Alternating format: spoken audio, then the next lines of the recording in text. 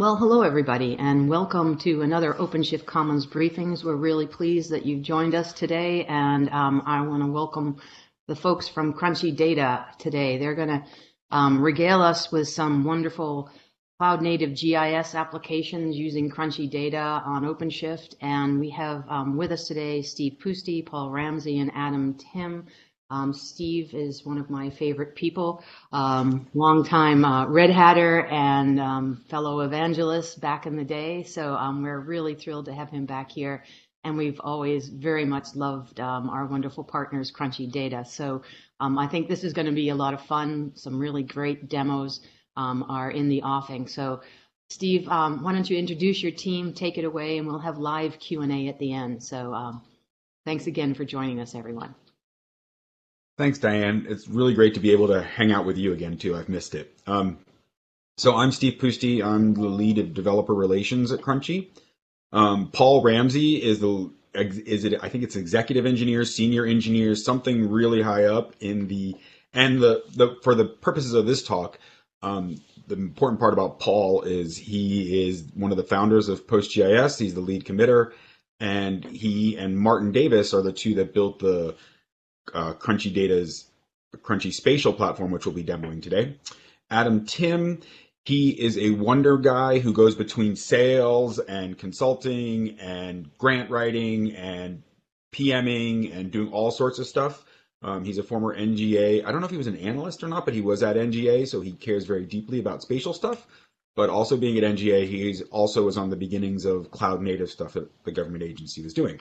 So today we're going to talk to you about some cool stuff that we've done um, uh, from actually from soup to nuts uh, with Crunchy Data, Postgres, some cloud spatial stuff that Paul will introduce in a little bit, and we'll be running it all on OpenShift. So let's go ahead and get started. Oh, I got to click on the actual window. All right, so there's us. Oh, sorry. Paul's the one in the middle. Adam's the one who looks like he might be an NGA agent. Anyway, on the on the far right, and that's me on the far left. Actually, it's no hair framing the hair guy is what we're actually aiming for with that effect. um, what we're going to do, we're going to talk about some cool stuff with Kube, PostgreSQL, and spatial microservices. And of course, since we're on the Commons one, our version of Kube is going to be OpenShift. And then we're going to use these pieces to build some cool stuff in real time. So we're going to spin up all, well, part well you'll see but it's almost exactly real time. Loading data is slow so we're not going to show you loading data. Um, other than that everything's going to be real time. Uh, who's crunchy data? Just for a quick overview uh, the leading provider of trusted open source postgresql technology support and training. Um, basically if you want to think of who we are um, we're the red hat of postgresql right? That's our business model that's what we aim to be. Uh, we have we have some of the leading contributors to PostgreSQL code, like Paul, but also Stephen Frost, uh, Tom Lane, uh, Joe Conway, approximately one third of the contributors to Postgres, right? So we can both influence, we can we can do stuff in the code, but we can also, you know, work deeply connected to the community. Uh, we're uh, everything we do is 100% open source and runs on Postgres, right? So no no um, open core. Everything we do is pure open source. Uh, we our claim, just like Red Hat's, is engineering quality support, right? So that's one of our big ones. Uh, we have you get calls with skilled PostgreSQL engineers 24 7, 365, usually 20 minutes or less. And so one of the examples would be like if you had something going on with PostGIS and you were one of our customers, you probably wouldn't get Paul on the immediate call, but you get Paul probably on the second call after they'd figured out what the problem was. And then one of the other big things for us is commitment to security conscious enterprises. You know, we have a lot of security clearance and we've built, we worked on the STIG for Postgres. So uh, we've done a lot with security and we're cloud and platform agnostic. And we've been working with containers since day one with OpenShift. Actually, with OpenShift, we were building containers back when OpenShift was not running on Kube, but we quickly made the uh, the conversion to Kube and OpenShift. And then we have been doing an operator for quite some time, and you'll see it in action today. Uh, so here's just some stuff about how we've worked with Red Hat before. Uh, Ansible Tower now uses Postgres behind it, and Satellite also uses Postgres behind it. And we are one of the preferred partners if you want HA Postgres behind Satellite or Ansible Tower, right? And we anywhere else you want to do. Uh, if you're running like um, Jira, or if you're running what was the JFrogs? I don't remember JFrogs, but behind JFrogs, we can run behind JFrogs as well for HA. Um, so here's what Ashesh, the GM Cloud BU, I think he's a senior vice president now um, uh, uh, for Red Hat and cloud in general. And here's what I'll let you read it. I'm not going to read it out loud. Um, well, actually, I should in case there's someone that's hearing, that's vision impaired. We are very excited to see the great results of the work that Crunchy Data has put into containerizing and operationalizing Postgres in the OpenShift environment. Having effectively built a database as a service infrastructure, Crunchy Data has made it easier for application teams to use the power of PostgreSQL in their modern architectures. So that's from Ashesh. And then Chris Morgan, the lead tech marketer, one of my good friends on Red Hat Cloud. Um, this is about our operator certification. And this is just to attest how long we've been doing the operator on Kube with Red Hat. Right? So as they, and we're actually in the catalog as well. As they have for several years, Crunchy Data has been a first mover in their collaboration with Red Hat. Being one of the first partners to embrace the operator frameworks demonstrates this, and we're excited for Red Hat OpenShift customers to be able to take advantage of this technology to help address their PostgreSQL needs in a scalable and repeatable fashion. And quickly, if you know about operators, which you should since you're on the Commons call, we are actually at phase five. So we're on the autopilot mode for our operator. And you'll see a demo of our operator. Adam's going to demo that in uh, a little bit after Paul does his thing. So I tried to go through that relatively quickly because I know most people don't want a lot of marketing. So if you have questions, you can put it in the chat or reach out to, we have a slide at the end of how you can reach out to us. I am now going to turn it over to Paul. Great. And I'm going to talk a little bit about the, the motivation behind, uh, behind Crunchy Spatial.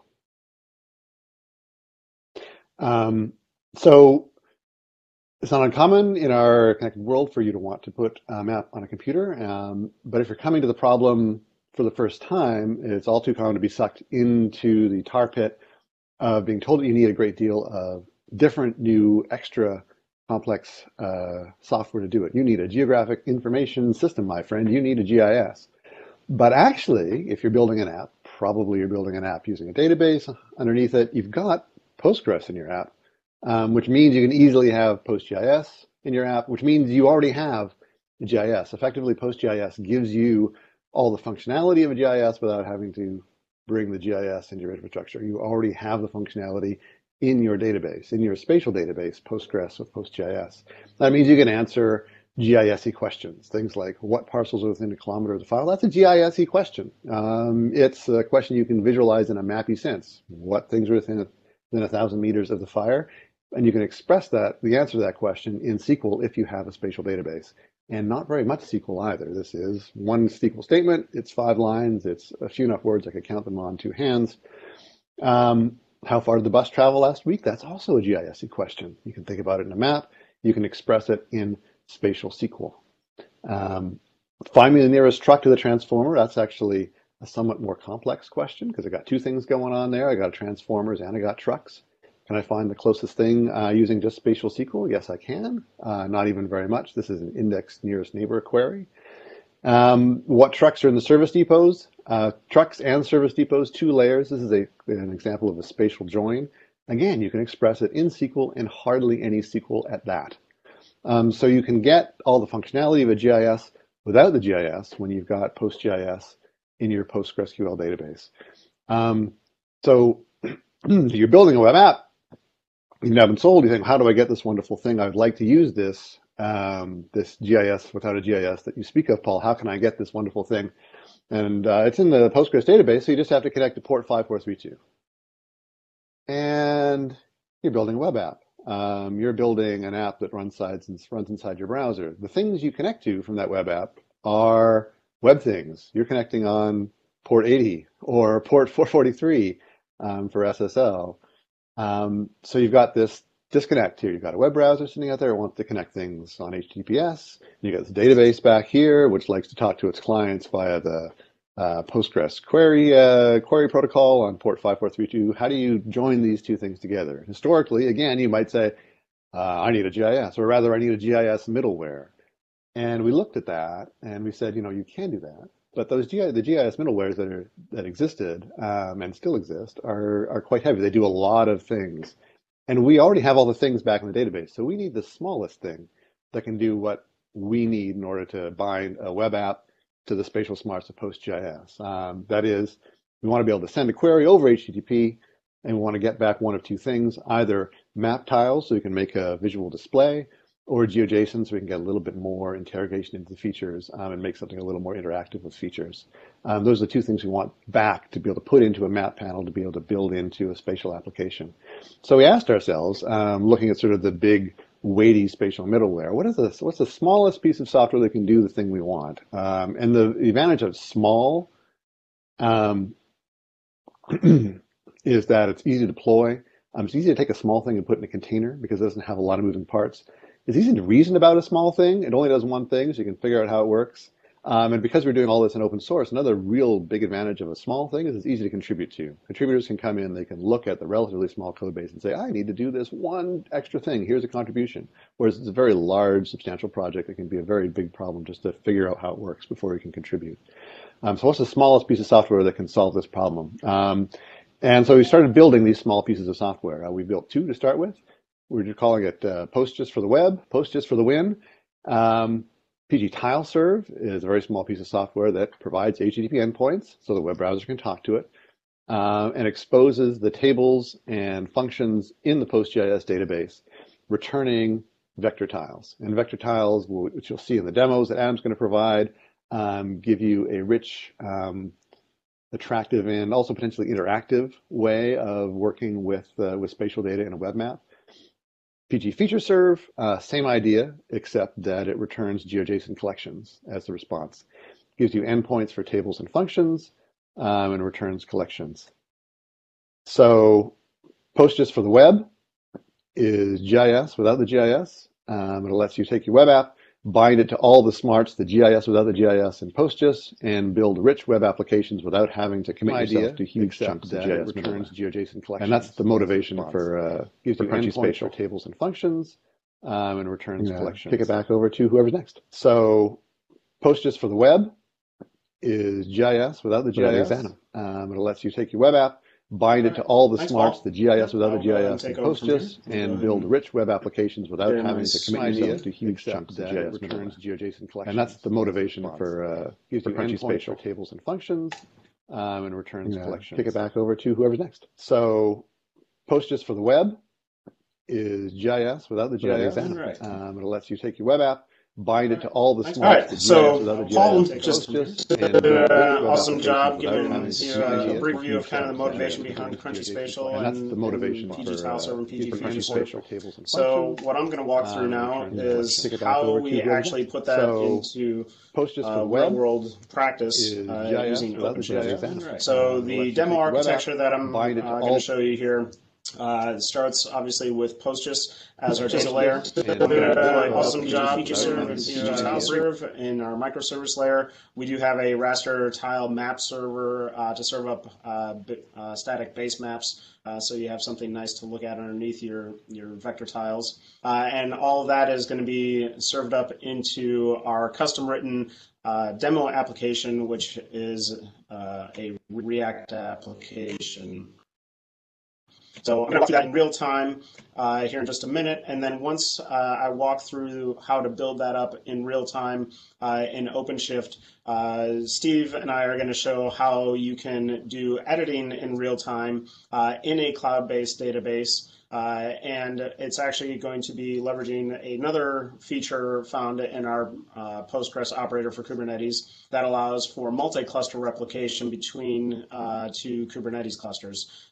So when we get to that part, what you're going to see is essentially the same application, uh, but now we have two separate uh, clusters of OpenShift uh, stood up, and we have two two versions of the application, one running in each cluster, and uh, but only one of the applications is the primary application, but data is being uh, automatically replicated and fed over to our standby cluster. So if for whatever reason something happens to your your entire Kubernetes cluster, um, you have the ability to fail over and restore your your application in very short order in your standby Kubernetes cluster.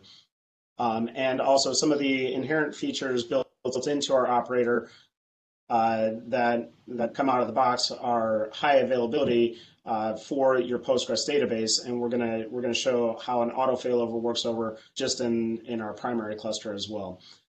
So uh, that's what I'm going to show you here in, uh, in just a second. Let me go ahead and exit out of this view. All right, so uh, what you should, what everybody should be seeing here is I have my two terminal windows where I'm going to be doing the majority of my work, and then I have my OpenShift cluster UI uh, here on the uh, left side of the screen. And Adam, as I'm uh, working Adam, in my terminal, you'll start seeing pause and Adam, jump in. Yes, Steve. We don't see it. We're still looking at the it? slide. Yep. Yeah. All right. Correct. Let me uh, let me reshare. Nice. Nice, Adam. Well done. All right. We have the technology. Surprisingly so. All right. Yes. So, like I was saying, we've got uh, we've got my my two terminal windows where I'm going to be doing all of the the main work, but you're going to start seeing uh, all of our pods dr- uh, drop into uh, my OpenShift uh, UI over here as things start getting built. So, uh, what what are we going to end up building? Uh, so this is this is a, a, view of the end user application that we're going to end up building. It's a it's a demo application that we we built just to show off uh, the power of Crunchy Spatial and Postgres and, and Kubernetes. And what you're going to see is it's a purely fictitious uh, application that we thought might uh, be representative of how a, a, fire administrator in Santa Cruz County would be managing parcel information uh, to uh, denote whether or not a parcel is considered a fire hazard or not a fire hazard. So what you're going to see is all these green and red lines are uh, tax parcel information that we actually downloaded from the Santa Cruz County website uh, GIS website, and we loaded it all into a database, and then we fed it out through PG TileServe, and we interact with it through PG FeatureServe. And what uh, what allows you to do is select on a uh, on a particular parcel, and then uh, it allows you uh, in this view it would, it's uh, meant to represent a fire administrator being able to change whether or not a parcel is considered a fire hazard, save that off, and then the say the the update is actually done directly in the database. And then the next view is uh, same map, same uh, same view, but only in this case, a fire administrator may want to let a, uh, a, a, number of residents in a particular area know that a uh, parcel is being updated to be considered a fire hazard. So it allows you to do a geospatial query again directly against the data in the database, and none of this is being done in the UI, and return all the parcels that interact or intersect with that query radius. So obviously we've already got this application stood up and running. I uh, just wanted to let you get a, a, sense of what we should see working uh, when the when the demo is completely done here. So with that, let me go ahead and drop back into this view, and we'll go ahead and get started. So the first thing that I need to do is I'm going to make sure I'm actually in the demo project space. Uh, so I'm building these things uh, in the right space so you can see it working. So I'm going to go ahead and switch to my demo project. And I'm going to start by actually building our uh, UI first, since the UI is actually the part that takes the longest uh, to, to build in this because we are actually building from source using the source to image uh, feature in Open OpenShift. So I'm uh, going to go ahead and drop that command in here. And you can see I'm just grabbing it from my own Git repo, a particular branch, and telling it to use the source uh, strategy. And I'm going to go ahead and kick that off. And if we go over to our builds, we'll see that is actually, or, well, wait for it. Might take a minute. There we go. Uh, so now it's actually going. We'll we'll see. We should see a build config pop in here.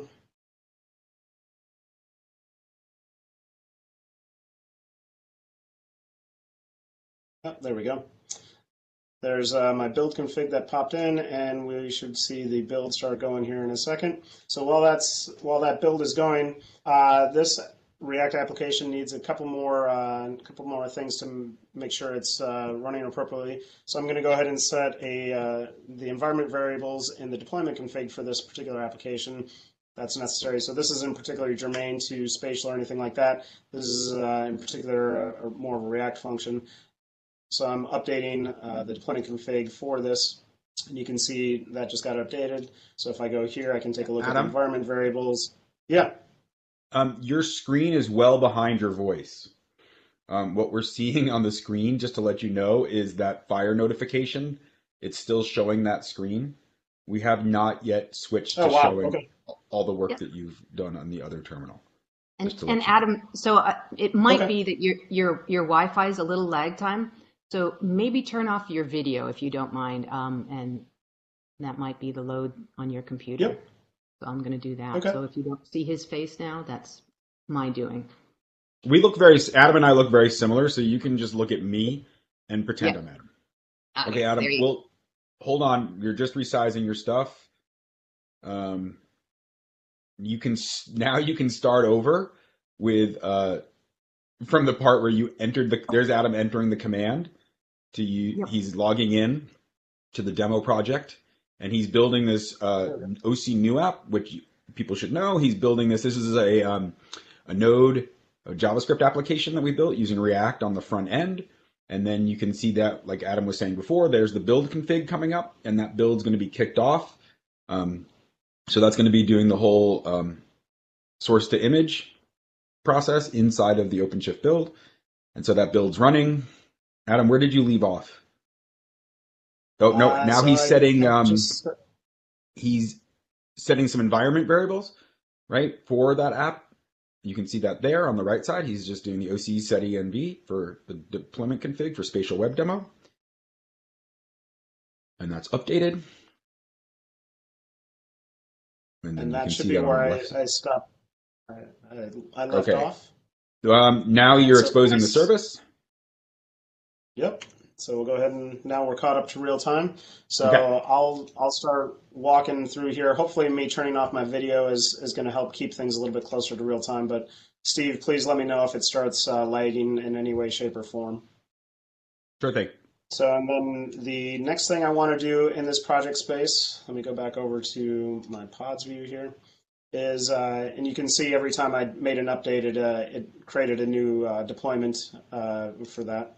And so the, the next thing I wanted to be able to do is add in that static map tile server that I mentioned we needed to have. So again, this is just a custom map tile server that we built for this, this demo.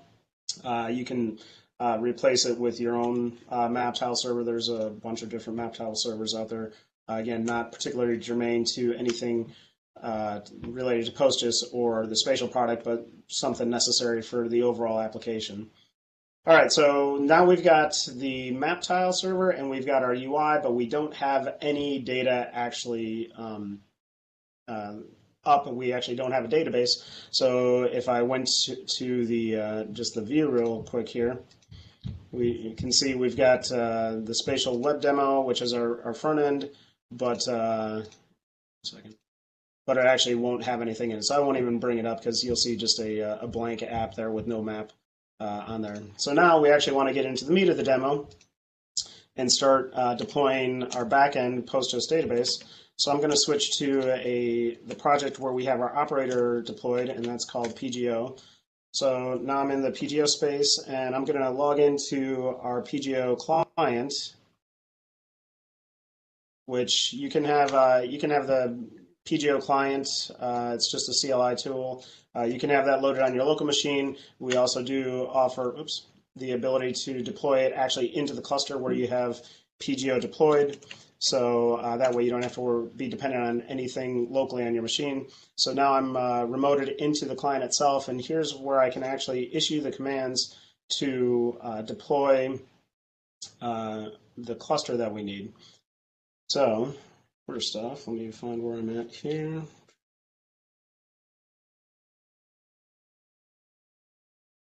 There we go. So what I want to do here is using, again, using the PGO operator, which is Crunchy's operator for Kubernetes to deploy Postgres clusters. I'm going to issue a command to create a cluster. I'm going to tell it to create it in the demo namespace where I'm building this application. I'm going to give my Postgres cluster a name called Fire App. I'm going to tell it which uh, particular image of the Crunchy containers that I want it to use, and that is the Crunchy Postgres GIS, so that, that means that it comes with PostGIS pre-installed and our HA container. I'm going to create a database as part of this command. I'm going to call that database fire data, and I'm going to tell uh, Kubernetes that I want uh, one replica uh, created in, uh, automatically on this, and then I can define my password for Postgres as part of this. Uh, if I left this off, then Kubernetes would go ahead and automatically create a random uh, a random secret and uh, in the, the cluster, and uh, I wouldn't have to specify this. I'd just uh, specify the password for the sake of this demo just to make it a little bit cleaner. So I'll go ahead and kick that off. And you can see it went ahead and kicked off a workflow. And if I do a PGS show,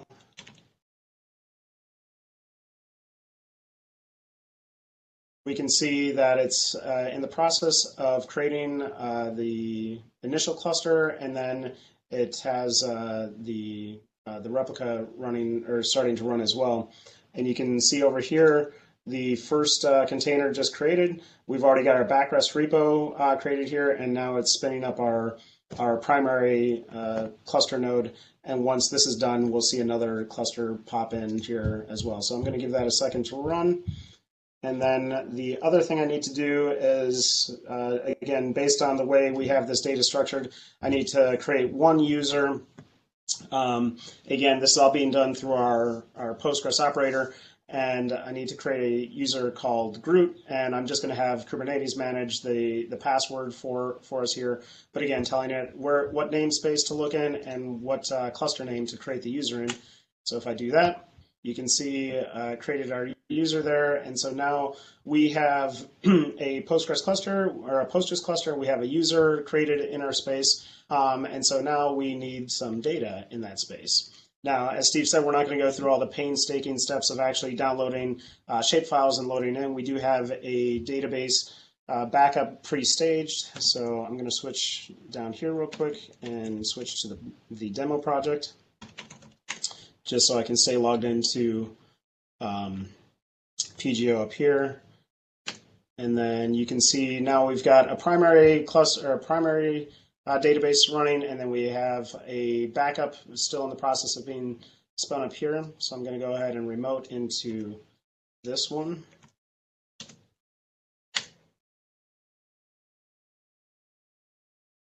So now I'm actually in the inside the pod in in uh, OpenShift. So I'm in this pod, and I want to load data into that Fire data database uh, that we created there. So I'm just going to go ahead and issue a, a psql command. So like I said, we've got this uh, this this Postgres backup uh, pre-staged in Amazon S3. That's going to pull it down, and it's going to load it directly into the database in real time. So you can see uh, just that quickly pulling it in uh, and restoring the database backup.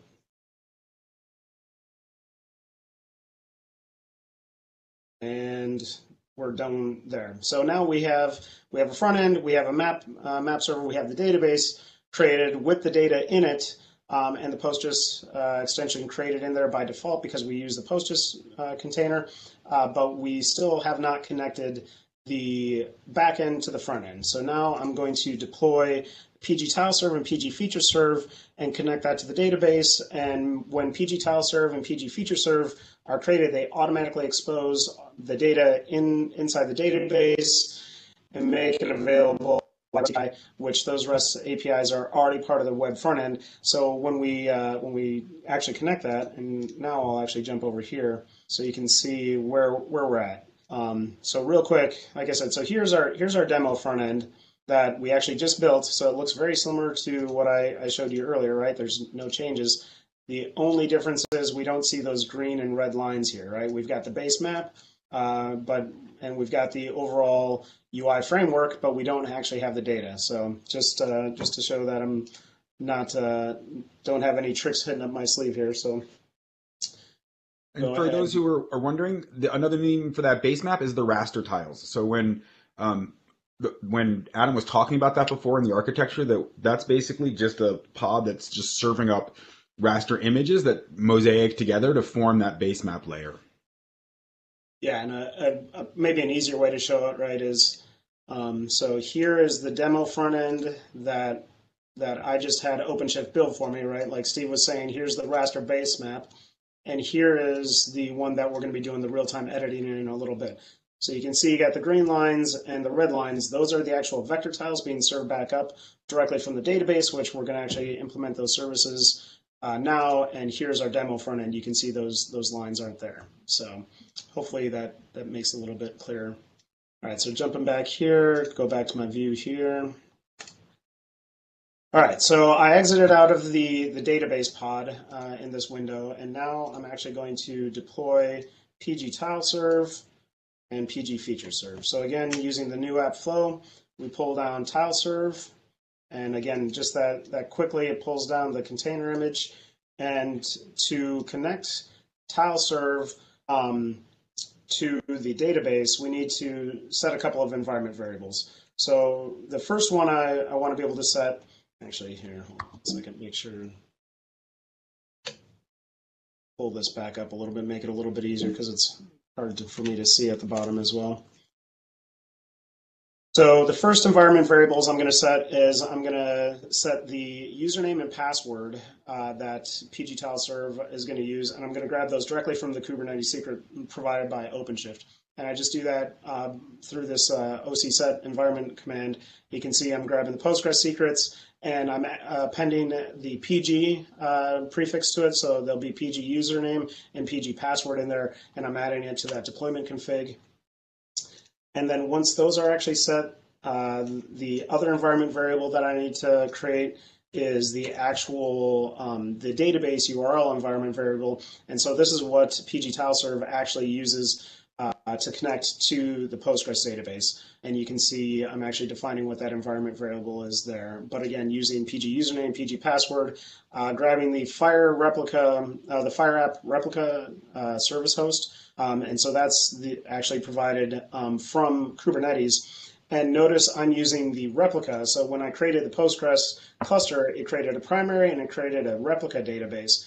I'm actually connecting PG TileServe to the replica database because PG TileServe is a read-only transaction. It's not actually doing any updates to the database, so we can use the replica service host on that because the replica database is a read-only database. So we want to offload uh, any sort of workload from uh, from the primary database uh, and put it on the, the read replica.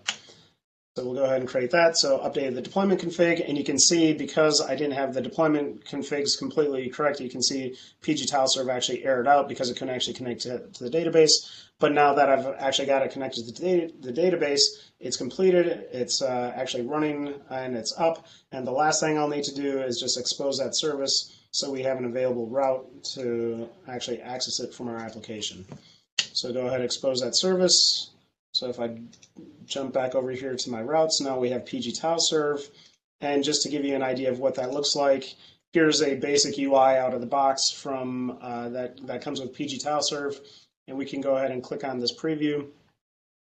And again, this is just a, it's a, a memory limited UI. So you're going to see these uh, vector tiles come in in a very spotty way because there's just a lot of them but you can see um, all of the, the vector tiles returning back here, and it returns all the attribute information contained in the database. Uh, we are not going to be using all that attribute information in our in our end UI, uh, but just let you know that it is made available to you through PG Tile Serve.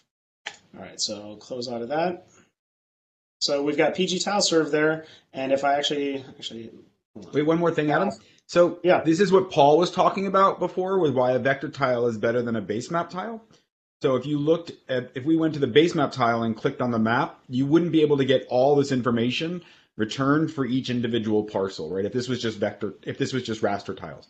But because it's vector tiles, we can actually tag information to all the vectors, allowing us to not have to necessarily go back and forth between the web server and the database server just to get display of information. And you can also style on the fly, right? The raster tile server, the one that we had before, those are raster images. I think JPEGs or PNG, something like that. So once you make that styling, you're done. Here, you can dynamically style the tile, the vector tiles and their the the parcels in them based on any of those attributes that you see there associated with them. So it gives you a lot more flexibility in terms of um, display and cartography. Yeah, thanks, Steve. And so now I, I brought up the demo application that we're, we're building in real time. And by comparison, now you can see it looks very similar to uh, this, uh, the, the, the application I brought up initially. Um, but now I can, I can click on this, but the UI doesn't let me do anything. And that's because all these interactions uh, through the... You're behind again, Adam. Hold on. You're behind again. Oh, sorry.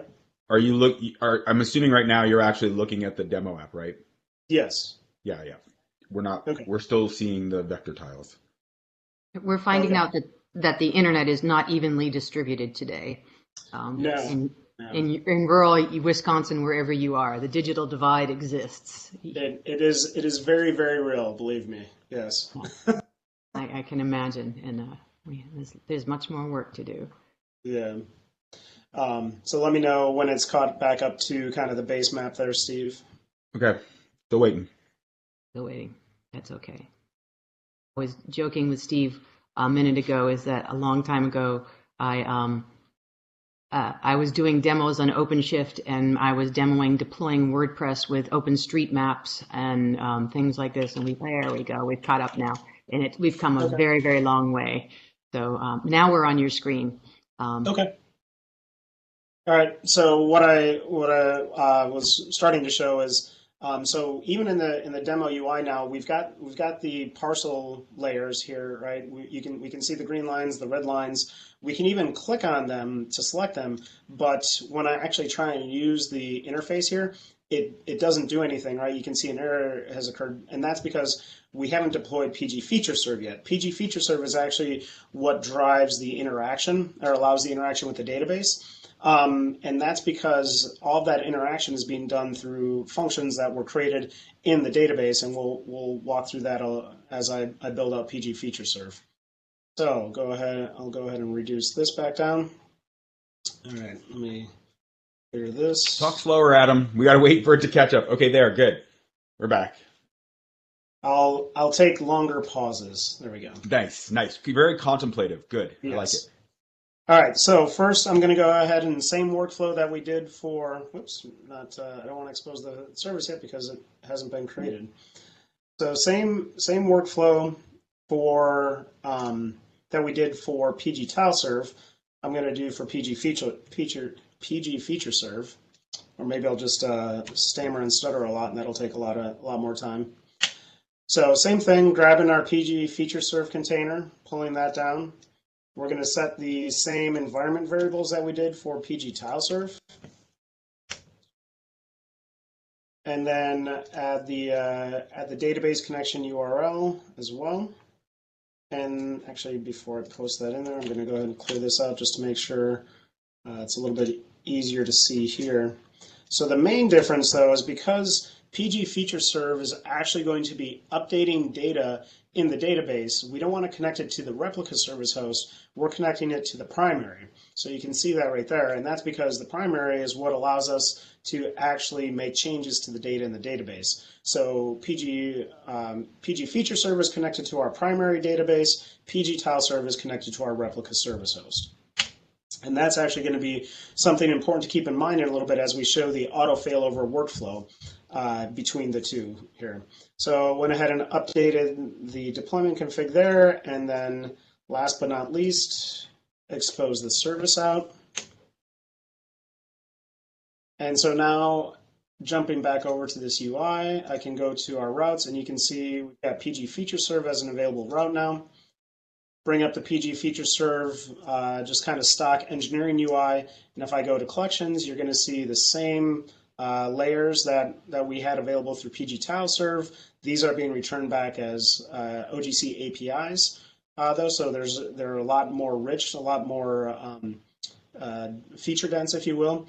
Um, and we also have the ability to view functions. Now, if I click on here, we don't actually have any functions available to us yet. We are going to create those in just a minute. And as I said before, the interaction for our application is actually being done through functions that reside in the database that are accessible through PG Feature Serve. And so even though we have PG Feature Serve deployed now, it is actually available through an API. If I go back to our demo application here and refresh, I still don't have the needed interaction. Um, I can still click on these I can highlight them, but when I try and uh, do anything, it doesn't actually do the update, again, because we're missing those, those couple of key functions. So the functions that we're going to add are two, uh, two pretty simple ones. We're going to add a parcel within distance. That's going to be able, that's going to allow us to do our distance query and then our parcel set fire hazard function. And that's what's going to allow us to set the attribute information in the database uh, from uh, the fire hazard attribute from either yes to no or no to yes. And so you can see here's here's the code that uh, is required to create those functions. And so now I actually need to create those in a database. Well, we've got this saved off as a, a data de definition language or library uh, in the SQL format, and I've got that pre-staged. So in the same way that I was able to uh, restore our database backup, I'm going to do the same thing down here. Go ahead and just RSH back into that database. The other thing I should add in here as, uh, oh, come on. Uh, so right now, PG feature serve has to look for the PostGIS FTW schema. So you can see over here, that's the first thing that happens in this uh, in this DDL is we actually create that schema, then we create the functions within that schema, and once uh, those are both created, we'll be able to see them in the um, in the PG feature serve UI. And I should probably stop trying to multitask because they keep messing things up here. All right, so now I just remote it back into the primary database pod. And now I'm just going to go ahead and grab the command here to restore that DDL. So again, in the same way that I was able to do the database restore, just go ahead and grab um, the pre-staged. Um, oh, that didn't work. Why didn't that work? Try that again. Didn't work because it's live. Of course. That is exactly why it didn't work.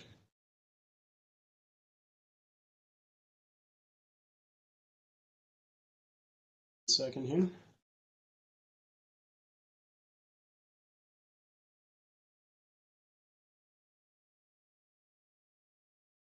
You want to try uh, curling it directly from um, GitHub? No, hold on. I gotta be in a temp directory. There we go. Okay. That time. There we go.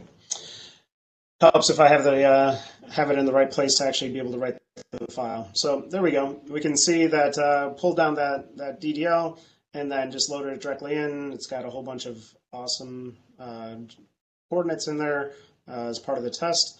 And so now going back over to our interface here, let me go full screen. Go back to my PG feature serve UI.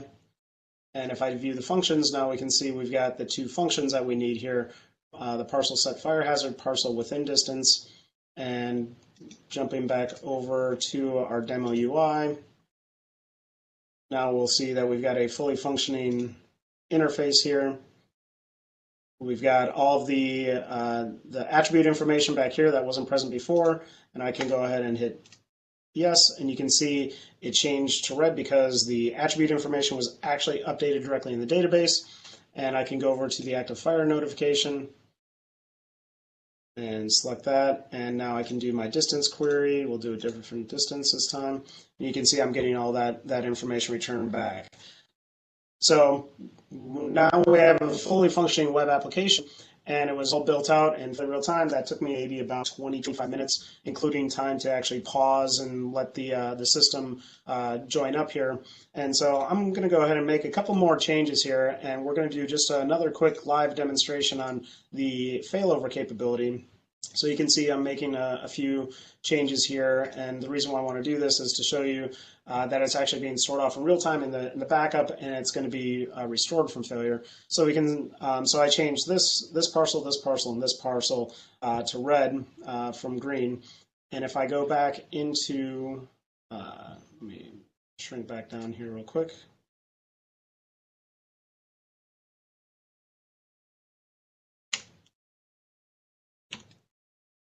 So remember this view, I'm still in my primary Postgres pod. And so I can see uh, PG data is where all of the primary data is actually restored. And let me just do one more quick PGO show up here so you can see. So here are my, my uh, databases running in my cluster. So we've got my primary here. So remember uh, W7CJ2 is the primary and the replica is GNTSB. So I'm going to go ahead and intentionally crash my database, which is always something fun to do in a live demo, right? Because that's that's what you hope doesn't happen, but we're going to go ahead and do it just to show how auto failover works.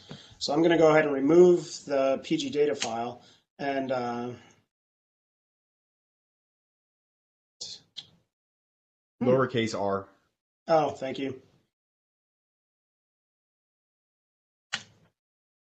And it said permission denied, but actually if I go back up here and show, um, you can see now our primary cluster is in an unknown state because I corrupted the, the data file. And now it automatically, in just that amount of time, it switched the GNTSB to primary. So it actually tore down uh, and it's in the process of restoring the former primary back to a replica. And you can see just that quickly, now that's back up on replica.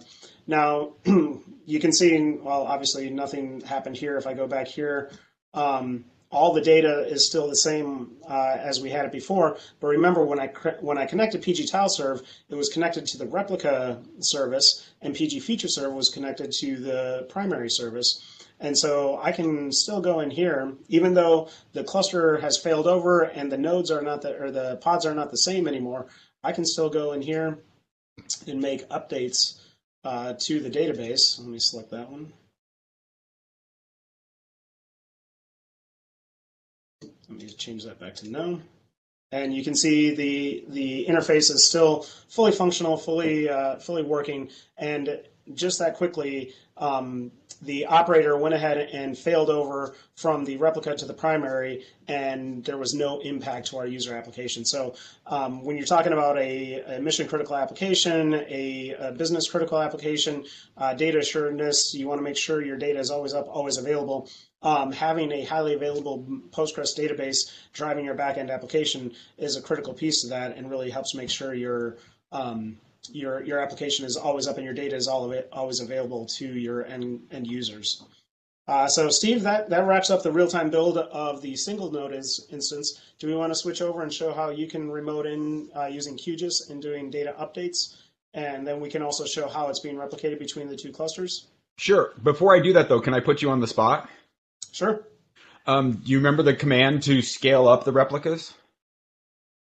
Oh, uh, yeah. So what I, the reason I wanted to ask Adam this is so we showed um, that the failover happens, but also you can set auto tuning for um, the uh, you can set auto tuning to let it scale up on its own. We don't actually enable that for the most part because databases are re- you don't want to be spinning up replicas and creating all that bandwidth in general. But you can manually go manually go in and if you do this again, um, you'll see that we can actually now actually just create a, another database replica on the fly. So if we were serving up a lot of tiles and it was really there, so it just created two more replicas, right? Yep. So we just increased by two more. So now we're running three replicas. And this is also the part that shows um, how PG Tile Serve and PG Feature Serve running inside of OpenShift are cloud native, right? Because this there's no state stored in PG Tile Server, PG Feature Serve, right? There's no state stored in there. All the state is in the database. So if you really actually need we're now reading off of more replicas, but we can also take tile serve and we can just go ahead and into the yeah, just scale it up. And it doesn't matter, right? Like that's it's always talking to the service. So it'll know how to route to the rep to the replicas that are behind that service and now we have three, and so they're load balancing to the replicas in addition to having three new services coming up, right? This isn't something where there's state stored somewhere other than, like there's some other um, map servers out there where they store state actually in the application itself, and those become very hard to scale up. And they're actually quite a hog in terms of resource usage if you look at feature serve right now, so if you click on, do we have metrics for them? Uh, I can probably, yeah, let me hop over. I think if you just click on the, um, oh yeah, you can click on that too. You can, well, that's the, the larger view, but if you, if we look at it later, um, we're going to actually be able to see the metrics for the specific pieces. And you can see that they're basically consuming almost no resources to do their work because they've built in a lightweight cloud native format rather than a one app server to rule them all kind of format. So I just wanted to make that point clear while uh, Adam was doing his demo. So I'm going to take control now. Yep. And so let me make sure people can see, you can see my map? Absolutely. Yep, we can. Okay. So this is the exact same app, exact same map um, coming off of Adam's space from before, right? And you can see we've got the, let's see if, I don't know if we're serving in the exact same. Let's check. Let's go here to refresh the state on the map. We come back here. This is the one of the demo, because this is actually in the failover cluster that um, you know, that replicate we had where the data was being replicated between actually two distinct OpenShift clusters. I'm attached to that data set right now, right? And that cluster. This is the primary in that cluster. Um, that's why you don't see Adams changes because it pre-configuring all that cluster change is not something we can do easily on the fly. I mean, we probably could have, but it's in in the essence of time we preset that up beforehand. So what I'm going to show now, though, is it's quite often in GIS frameworks that um, the users are desktop application users, not web users, right? Like, so that web administrator view that we showed before, that might be good for someone who's not into the GIS stuff. But for the GIS people, they actually usually use a desktop application. So I have a desktop application up. I'm I did a port forward. So here you can see me. Oh, it's not on the screen. Here you can see me port forward to the primary right? The primary doesn't have any letters. There's like a the the, the replica has some letters, an, another set of random letters in it. So we're actually talking to the primary, um, and I've port forward 5432 to 5432 on my local machine, which is um, the port for Postgres, right? So we're connected to that. Move that back out of the way, and then I'll bring up the desktop app. So inside of here, I had already made a Fire Spatial connector, right? And that is actually connecting to the database in the in the primary, right? And we can see all everything in there. I've already dropped assessor parcels on here. If you, we're going to actually update this parcel here. This one was already fire, so if I click on it and we look all the way, I don't know if this is actually viewable on your screen, but if we look all the way, let me see if where I can find it. Uh, so fire hazard, Oh, we clicked two. We, we were too far out. I need to click that one. Yeah. Let me scroll down again. And went too far. Where is fire hazard? Anybody see it? Then you might have just passed. There it is. There it is. I yeah. think there it is. So you can see it set to yes. And if I go back to my map view quickly, you can we're looking at this parcel right here. So we're going to do the use case where there's a GIS analyst, a desktop analyst back at the the main G- spatial processing center for the fire department or for the county and they said, "Oh, you know what? We've gone out and inspected this one and this parcel is actually now high fire potential." So what I can do here is I'm actually going to select this parcel, right? And we can look down at the fire hazard again. And it's uh where to go? Where to go? Where to go? There's a lot of attributes, but you can see this one says only yes portion, so not the whole thing. We want to change that. So what we're going to do is we've selected this. We can bring, we can start editing on this. So toggle editing. Now this allows us to make changes through here. And then we bring up this form for changing things and we scroll down to there. Oh, no, that's timber. It always get, that one always catches me. Here, fire hazard. So we're going to go and edit it. All right, so we're editing on the primary. There we go. It's all done. You don't see anything in the GIS view because you wouldn't. Um, did I toggle editing yet? Nope. I got to turn off the editing. So that saves. So this is basic toggle editing basically opens up a transaction. And when I save, that actually commits the transaction to the database. And now if I go back to my view and I refresh the page, I mean, if we were really fancy cool, we would have some sort of WebSockets, but it doesn't happen often enough to do WebSockets.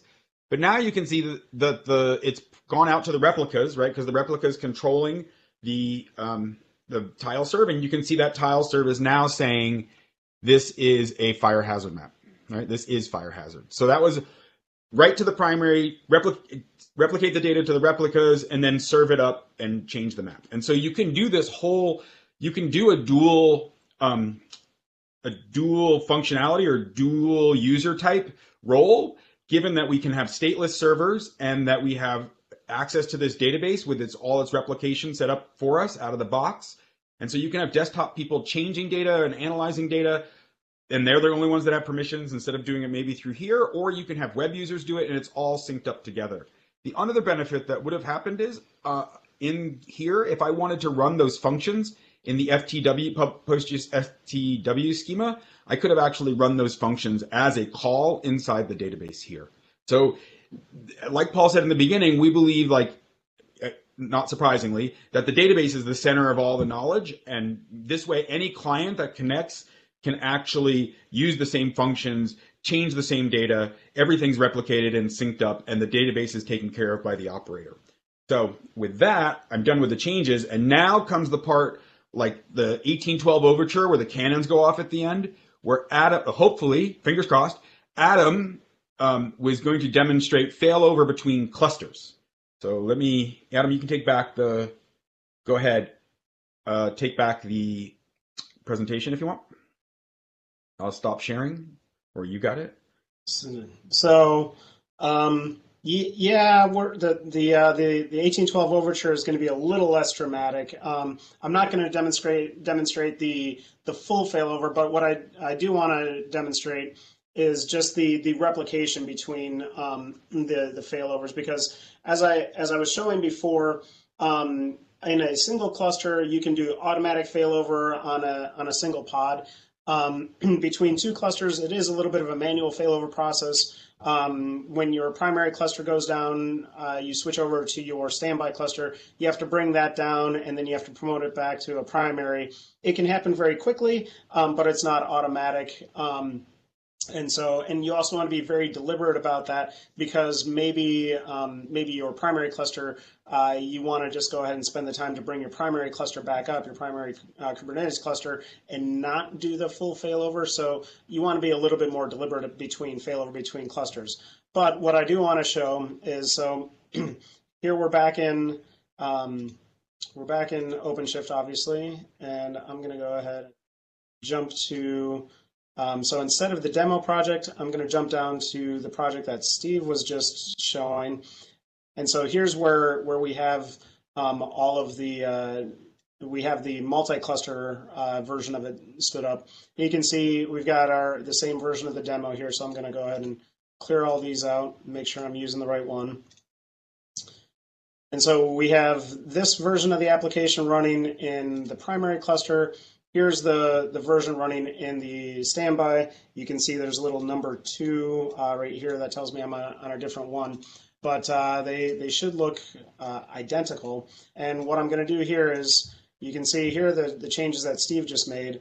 I'm going to go ahead and uh, change this back. I'm going to say, Steve, you messed up. No, that's actually not a uh, fire hazard. And turns out this one wasn't a fire hazard either.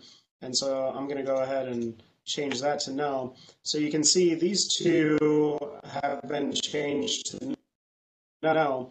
I'm going to hop over here back to our, our standby cluster. You can see these, they're still showing up as red. That's because uh, to replicate over there, uh, it does have to go through an S3 bucket and it takes about 10 seconds or so for that, that replication to actually happen in full. So I'm going to go ahead and just give it a couple more clicks. And you can see already just in that a little bit of amount of time, these two have uh, have changed. But again, because this is on the standby cluster, I can't actually make any changes to this one because this entire database, including the primary one, is marked as a standby. So uh, we're not going to run into any sort of um, transactional conflicts uh, by somebody accidentally going to this one and trying to make an update to this one, it's not going to let me because the entire database primary and replicas are only in read only, and they're they're uh, they're pulling from the primary cluster uh, in the the primary Kubernetes instance. Um, but I still have the ability to do my uh, radius search here.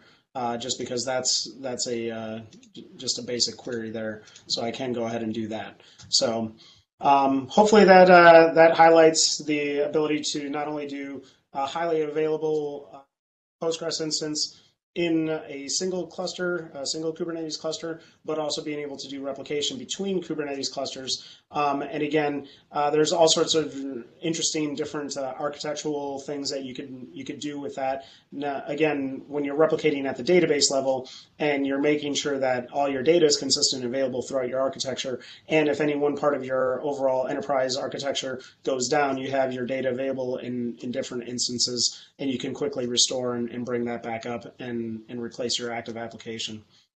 And so with that, um, I'm going to go ahead and bring slides back up here, hopefully. And so as Steve mentioned, uh, if you want to learn more, uh, you can always uh, go to our website uh, and learn more about uh, Crunchy Postgres for Kubernetes uh, and the documentation. We do have a learning portal, so if you go to crunchydata.com, go to our learning portal or learn.crunchydata.com. Uh, Steve's got a, a, great site there uh, full of Katacoda courses, uh, not only for the Postgres operator, but a, a, bunch of other Postgres courses. You can learn more about Postgres, obviously Crunchy Spatial, or you can email us at info at crunchydata.com. So with, with that, Steve, I'll hand it back over to you. Any any closing comments? No, I just I, I hope people got a sense of the way that we've moved into a cloud native architecture for spatial, right?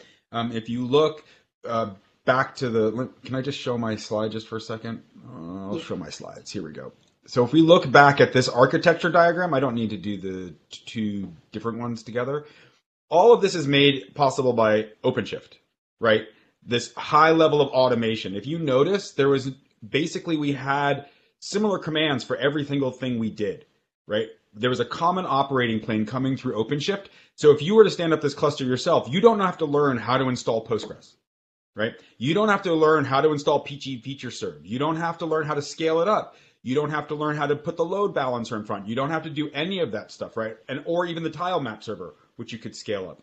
It's the same um, paradigm you would use for anything else, like Nginx or uh, JBoss EAP. It's all the same paradigm for how you work with it. And the ni- other nice part is we've got tons of automation going that is just taken care of by the platform itself. You saw the power of the operator, right? So the operator knew how to do failover on its own. We didn't have to read through and configure and do all that stuff that we would normally have to do to set up um, primary and read replicas or the failover itself. That's like that's years worth of work that all comes out of the operator framework and what we've done at Crunchy to build that Postgres operator. And then you saw we build PG feature serve and PG tile serve to be cloud native. They're small, there's no state, they scale up, they, they respect the way that Kubernetes is expected to work, right? You just set a couple environment variables for the password. You can actually even set them as um, in the deployment config directly. We built the configuration of it to work with Kubernetes and OpenShift right? And so then you can build your UI layer, but all of it's taken care of and you're not learning some new paradigm. So we believe this is the way forward. I mean, Kubernetes, the cloud, all that stuff has really made it nice for us to do, as Paul said, PostGIS for the win or for the web, both of them together, right? Um, you can, it makes it much easier for everybody and in a scalable way. So uh, I just want to end and we love talking about it. So any questions, shoot them our way. Absolutely, and um, I'm sure we will. Um, and this really, I think you really have shown us the, the path forward for cloud native and the future of GIS being a cloud native um, uh, serious offering here. This is really amazing.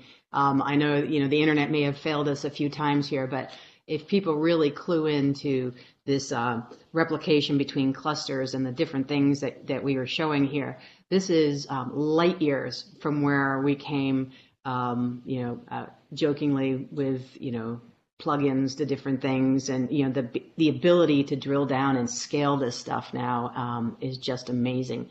So I really appreciate you guys taking the time here. Um, we will definitely have you back um, and do more co live coding demos because this stuff is just great.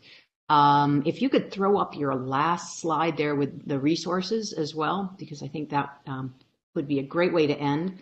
And I don't know if um, Paul is, if Paul's still hanging around there. Um, I'll put up the last slide, but Paul's still here. Yeah, if if if you want to just say um, where, if people want to get involved in the open source side of this, the PostGIS, where where people should go to find you to um, participate in that community. Yeah, if you want to get involved in PostGIS, the uh, community site is postgis.net, and everything links from there. All right, awesome. Wait, so, wait, hold on, hold on. I'll bring it up and I'll show. Hold on, hold on, hold on. Perfect, Let's go back to uh, where is it? No, that's not what I wanted. Do I want this one? Hold on. Let me get rid of this. There. Because that's probably that's then... probably Steve's homepage. Right, exactly. I just have QGIS of all the time. Um, where is? Oh, oh, here's what I wanted. Here we go. Right. So here, um, PostGIS is PostGIS. Is it Post dot net net net? So this is the PostGIS site, and then there's a whole part on it about development right? So here's how you get involved. They've got a nice list. They're very friendly people. Paul, I think it's Paul, mainly Paul and Regina that run it. Is that right? Pretty much, Paul. Uh, me and Regina are the most uh, consistent people around, but there's a okay. there's a development community of about a dozen regular contributors. Okay, but Paul and Regina are the I don't know about the other I don't know the other people. I'm sure they're very nice too, but Paul and Regina are some of the nicest people I know. And then if you want to get involved with our other projects, they are in github.com slash crunchy data, right? And their repositories are, here's PG TileServe right on the front page, right? And as Paul said, it's really slim code. Like if you dig into this, that I think the biggest thing in here is probably the documentation in Hugo, right? Or the examples. Uh, most of it's happening in a, he's doing it because the database is so powerful. You can basically this is just a very small shim layer that just handles the HTTP to database transactions, and that's all it's doing. The database is doing all the work, so you don't have to do all this complicated calculations or writing inside the code. And then the other one is the exact same way. This is the one that Martin works on, which is feature serve, And it's the same. Um, one thing we didn't get to show that I think I, I would like to show since APIs are the future. If we mm-hmm. go back to, uh, now I have to find it three deployments. I'm confused. I mean, I'm so used to the 3.whatx OpenShift interface that I get very confused with this new, um, this new uh, interface what, that you guys have going.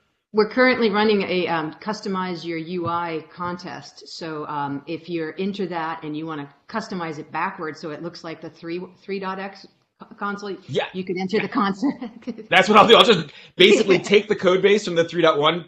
I customized it. Look, um, so I, I wanted to go to the routes is really what I wanted to do. I was trying to find the routes. So here's the FeatureServe, right? I'll bring up FeatureServe again. And that, the thing I think that's really cool is features, the GIS world is usually a couple years behind catching up the rest of the programming world. And, but this time it's really great. Um, Adam mentioned we're OGC compliant for FeatureServe. OGC is kind of like the W3, is it W3C, right? Is that the working group for the web, right? The o- OGC is that for spatial, and they're doing a whole. They're excited. They're doing a whole new. Um, they're doing a whole new configuration of it. Of their rewriting their specs so that they're actually modern web. So the new feature serve spec is actually Open API compliant. And so as we bring this up, wait for it to wake up a little bit. It should be bringing up a Swagger interface to the feature serve. But the internet is not with us today. So internet it's waiting for unpackage.com. There must be a third party library that it's waiting for that it can't get. So if I stop it, maybe there we go. So now you get the you get the Swagger spec for the feature serve. So you can interrogate it just like you would any other API, right? And it behaves exactly the same way. And again, it's stateless, right? So it's Restafarian or REST like in what it does. So you can look at get the collection, right? How do I make that call? we put all the, the documentation in it.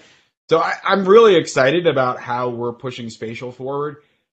focusing on the database, storing state in the database, but then making the other layers lightweight on top and cloud native. So now I'm done crowing about our site. And now is is Rastafarian a thing, or have Uh, you just? I, I say that just because you know there's a guy in um, in the spatial community, Sean Gillies, who was very early in REST, and there was a bunch of us who were like tracking REST, and Sean was very Restafarian. And I think Restafarian are the people who find fall follow Fielding's original dissertation and say unless you're doing the original dissertation version of REST, you're not doing REST. Those are the Restafarians, and Sean was one of those people, and I was not. I was just like a I'm just going to do what makes my life easier and programming easier. And if I put some function calls in there or something, uh, so sue me. I don't care. I'm just Yeah. going to make life better. Hypertext Well, is the engine of state, and I will fight you on that.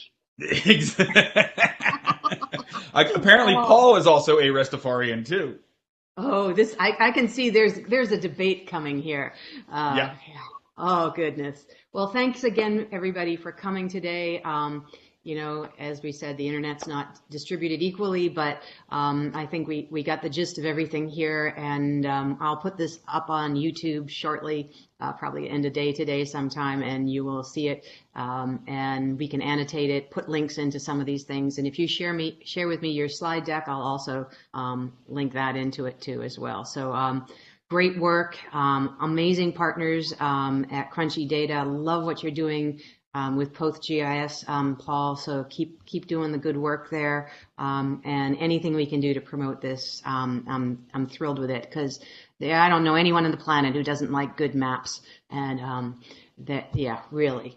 And we use Only them. people who have problems don't like Oh, good maps. That's yeah. all. Yeah, yeah. Who anyone who does it. I don't know if you can see it, but like I'm I'm a huge map globe enthusiast. I even have my light bulb out there in the background. Is my um is is how hooked I am on mapping. So I so appreciate the work you guys do. So take care. Um, we'll talk to you all soon. Um, someday we'll see you all again soon in person, hopefully. And so stay safe. Um, keep doing the good work. Um, and um, we'll talk to you all soon. Take care, guys. Okay. Thanks, Thanks, Dan. Dan.